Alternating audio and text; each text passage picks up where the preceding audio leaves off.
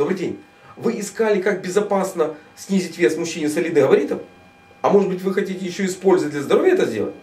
Прекрасно. Я врач, фитотерапевт, диетолог Борис Качко. Могу вам в этом помочь.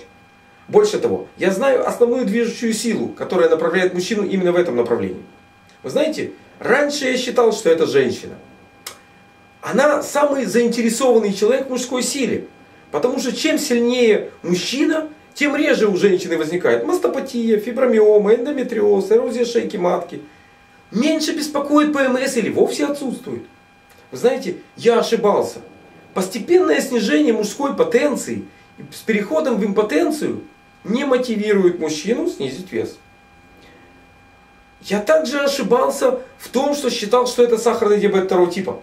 Да, повышение уровня сахара в крови создает такую кучу проблем, но это не мотивирует мужчину. Оно, сахарный диабет сокращает продолжительность жизни на 30%. И это не мотивация для мужчины снизить вес. Как и другие компоненты метаболического синдрома или смертельного квартета. Как сахар, э, атеросклероз сосудов, как гипертоническая болезнь, ну и подагра.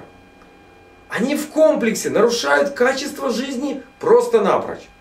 Резко, внезапно могут сокращать ее продолжительность. И это не мотивация для мужчины снизить вес. Мотивация совершенно в другом. Кстати, она объединяет мужчину с женщиной. И мужчина и женщина объединены одним желанием продолжать род, иметь детей. И вот под таким благовидным предлогом мужчина понимает, что сегодняшняя его потенция не позволит ему иметь здоровое потомство. И снижая вес, он хочет еще и повысить себе потенцию. Великолепно.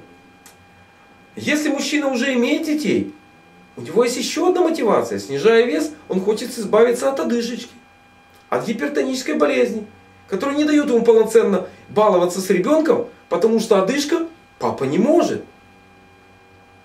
Это можно сделать параллельно. Больше того, для того, чтобы активно играть с ребенком, нужны хорошие суставы. И тут нужно по дороге с избыточным весом избавиться от артроза, остеохондроза или хотя бы уменьшить их проявление. Я уже говорю о таком распространенном заболевании, как подагра. Это все можно делать одним пакетом одновременно, безопасно снижая вес. Вот когда мужчина понимает вот это, он может избавиться еще от одной проблемы. Он же понимает, что с ребенком поиграться днем, а восстанавливаться он должен ночью. Так же, как и любимая супруга, ночью должна все-таки большую часть ночи отдыхать. А храп, который часто сопутствует ожирению, не даст им этого сделать. Снижая вес, вы можете одновременно избавиться и от храпа. Поэтому, если вы хотите лечить ожирение по частям, вам жизни не хватит вылечить все последствия ожирения. Если вы хотите лечить все это одномоментно, одним э, махом, это все можно делать легко и просто. Через правильное питание, через правильный прием различных препаратов. Если вам необходим такой путь лечения ожирения, контакты вы видите, вы можете обратиться и получите исчерпывающую для себя информацию.